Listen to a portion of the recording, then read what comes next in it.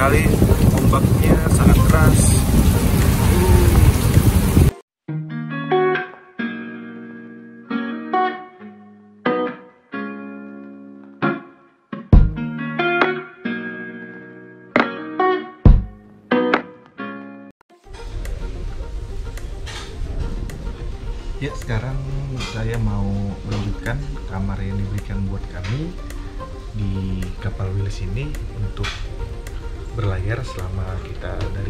Makassar menuju Labuan Bajo.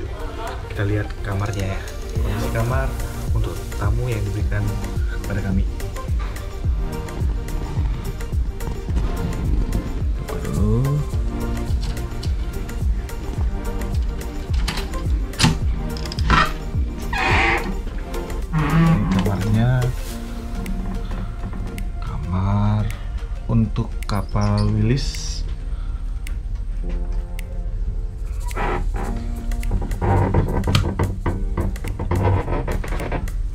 Saat buka pintu ada untuk petunjuk keselamatan dan ada spesifikasi kapal untuk tempat-tempatnya lokasinya di mana aja semua dijelaskan di sini.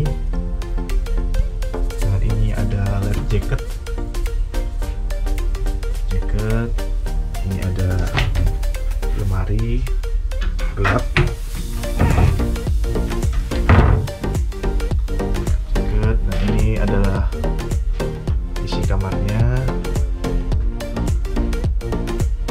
ini saya sendirian di sini.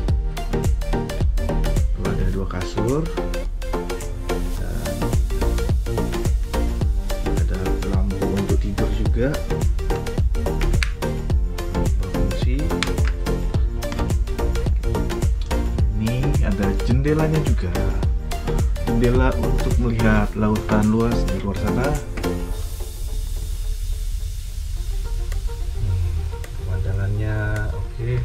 di sini memang ombak lagi tinggi ya. Jadi kondisinya kita sekarang goyang-goyang sekali.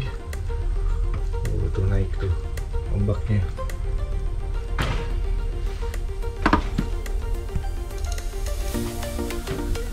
Dan ini ada kaca, ada cermin, ada juga toilet untuk kamar mandi. Ini isinya toilet yang ada di kapal kamar kapal Wilis. Seperti ini. Bersih.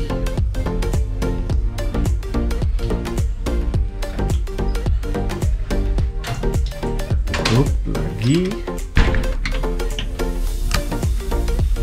ya inilah kondisi kamar yang ada di kapal Wilis dan kamar ini sebenarnya hanya untuk tamu. Ingat ya untuk tamu bukan untuk penumpang yang disediakan karena memang di kapal Wilis ini hanya menyediakan untuk kelas ekonomi saja. Bentar ya. Yang menyediakan kelas ekonomi. Jadi kamar ini untuk tamu misalnya dari instansi terkait atau dari pegawai PLN sendiri yang benar-benar bertugas pada saat itu disediakan kamar ini. Jadi kamar ini tidak disewa atau dijual belikan tapi hanya untuk tamu saja. Jadi sering itu ditanya di vlog saya di beberapa video kemarin berapa sewanya berapa tarifnya untuk kamar seperti ini apakah kita bisa menyewakan untuk kamar seperti ini dan memang jawabannya tidak bisa karena kelas ekonomi yang ada di kapal Wilis ini hanya mengakomodir itu dan memang untuk kelas itu hanya ada tiga kapal di kapal Pelni yaitu kapal Sinabung, kapal Kelimutu, dan kapal Kelut. Hanya tiga aja. Untuk selebihnya, untuk 23 kapal lagi dari total 26 kapal penumpang yang ada di PT Pelni, semuanya sudah kelas ekonomi. Oke, sekian dulu untuk kamar ini. Mana deh?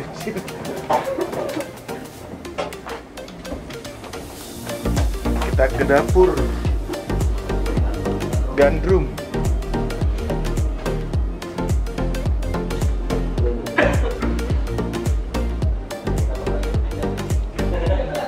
Thank you makanan di KM Willis. Hmm. Sudah lapar.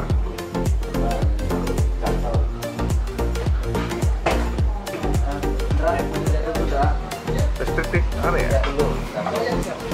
Permisi ya Pak. Lagi goreng buat ekonomi ekonomi. Iya, goreng tempe. goreng. goreng crispy Goreng crispy. Nih, goreng crispy. iya jalan coba Panas nggak itu? panas Oh, panas.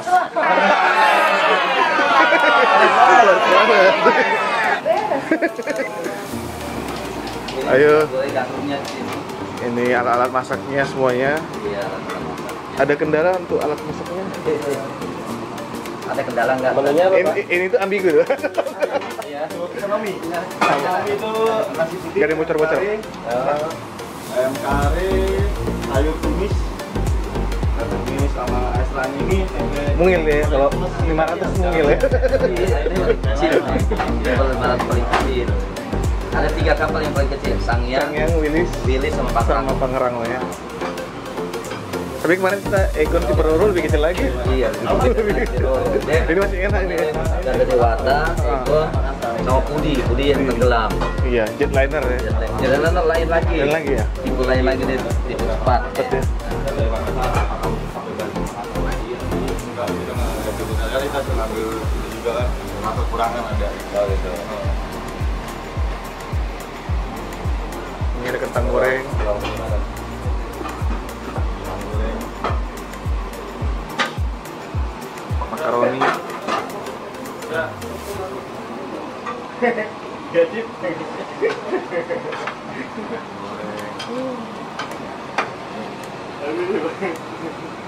Kita cek gandrum.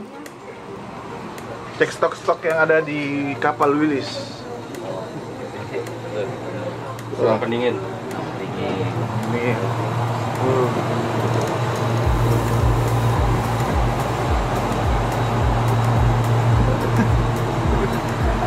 Ini apa aja sih, Mas? Hah? Ini ikan, Ikan semua nih. ikan semua ini ikan bandeng, tongkol, layang, Oh, eh, bandeng, ikan tongkol layang sama apa lah ya? Variasi lah ya. variasi. Ini ayam, Isinya di Makassar tadi. di Makassar. Oh. Oh, udah di pack-pack gitu ya, Pak ya? Iya, 10 kilo, 10 kilo. Terus nanti kalau ngisi lagi paling pas balik ke Makassar lagi.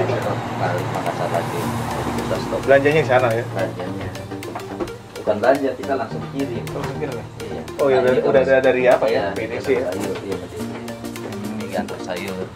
Ini gantung sayur. Hmm, Nggak terlalu dingin karena iya, kan Beda. sayur.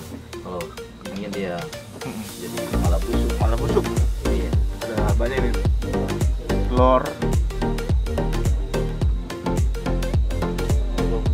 Ada semangka. Ada sayur kul.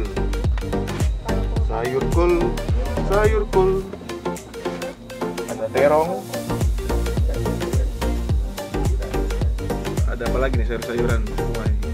Supermarket. Ah, ah, ini kayak hipermarket. Ada toge.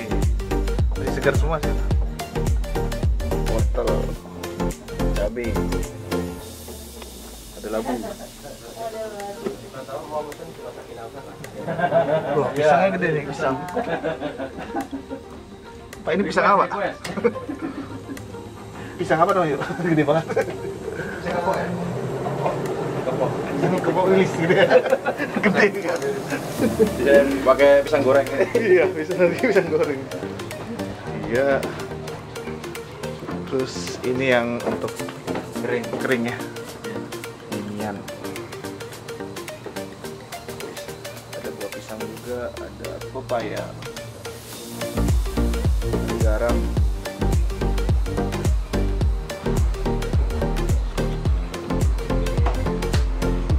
ini ada lagi pak?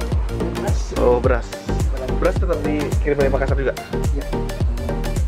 Cukup lah ini stoknya untuk sampai satu wih. satu satu satu frekuensi. Oke. Rapi ya dia. Udah ada pisah-pisah gitu. Pisah-pisah gitu ya Siapa? Makasih Pak ya. Ada kita lagi ayam nih.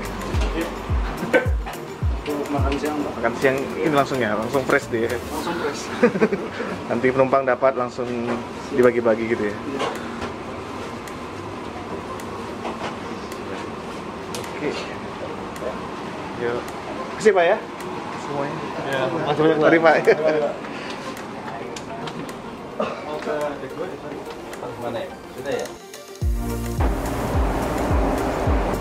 Ini kita berada di bagian kapal di bagian kapal paling belakang. Di sini ada untuk wudhu, untuk wanita, dan selanjutnya bagian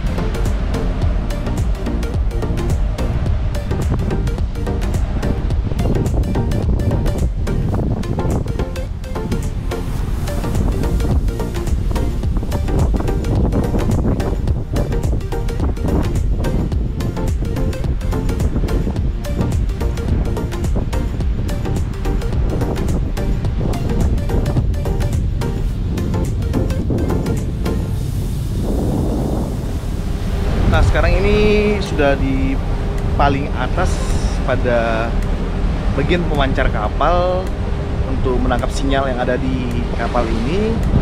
Dan juga ada untuk suling untuk pemberitahuan untuk kapal tiba atau berangkat. Ini macam kayak trompet itu untuk klaksonnya. Dan ini untuk pemancarnya muter-muter kanan kiri. Ini juga ada.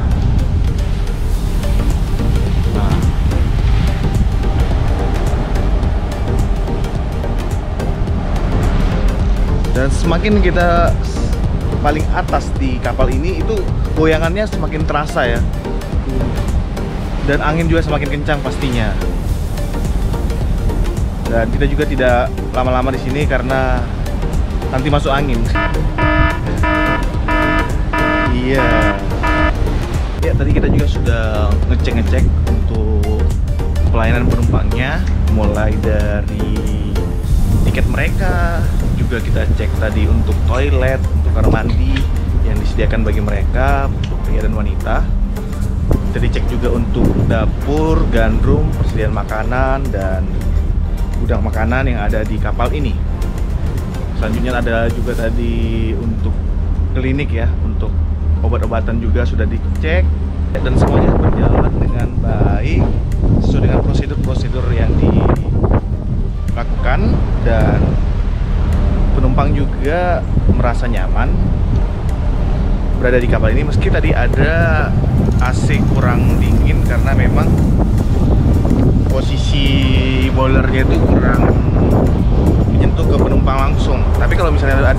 tadi untuk AC-nya langsung ke penumpang itu sangat dingin ya. Dan memang kapal di sini kayak gini saya jalan aja harus tergopoh-gopoh karena ombaknya itu sangat terasa. Jalan aja harus tergopoh-gopoh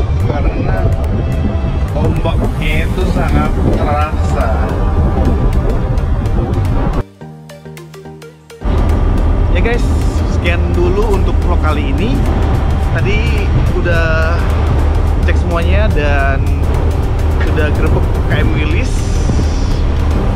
Kiranya kamu suka nonton video ini dan juga apabila ada saran ataupun pertanyaan silakan ketik di kolom komen yang ada di bawah. Mungkin untuk lain waktu saya ke kapal Pelni yang lainnya.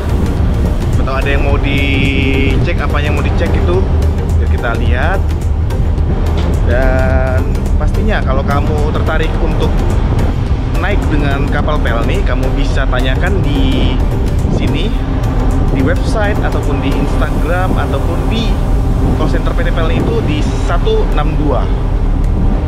di situ kamu bisa tanyakan detail untuk keberangkatan kapal mulai dari mana ke mana tujuannya ke mana nanti akan dilayani oleh petugas call center yang ada di sana.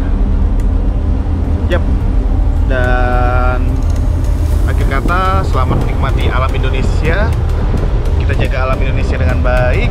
Dan pastinya jangan lupa untuk like, comment, and subscribe jika video ini bermanfaat bagi kamu. Dan sampai jumpa di video-video selanjutnya. Salam sehat, keep healthy and be positive. Thank you